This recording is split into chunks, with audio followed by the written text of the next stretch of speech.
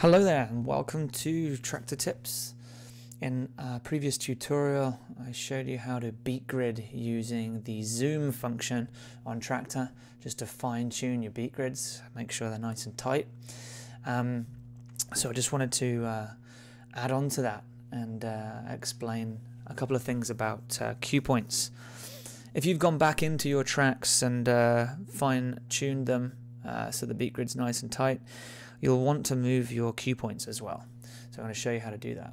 I have a track loaded up here, um, which has um, the, the grid is deliberately set to be off. Um, so let's go and have a look at it. So if we click into cue point number two here, it looks great. It looks totally on point. Point three, again, looks pretty good. Point four, again, pretty good. Um, however, if we zoom into uh, the wave using the plus symbol here, we'll notice actually quite some way off here.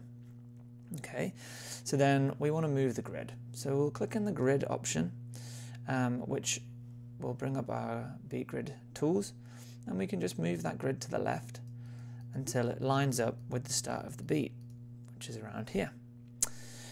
So what you'll notice now is that the cue point itself has not moved, but the beat grid has we go back to the cue points, we'll jump to number three, and we'll see the same as happened throughout the track. It's exactly the same for all. So we just need to go and move these cue points. So if we click on number two, it takes us to cue point two, and as that was the last thing we clicked, the delete button will delete that particular cue point.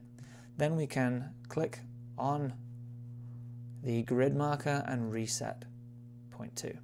Again, jump to number three, we do the same.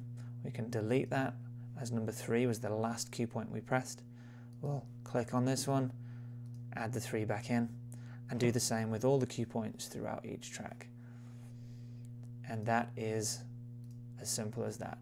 Just remember, when you are changing your beat grids, you, you do need to change your cue points. Thanks for listening.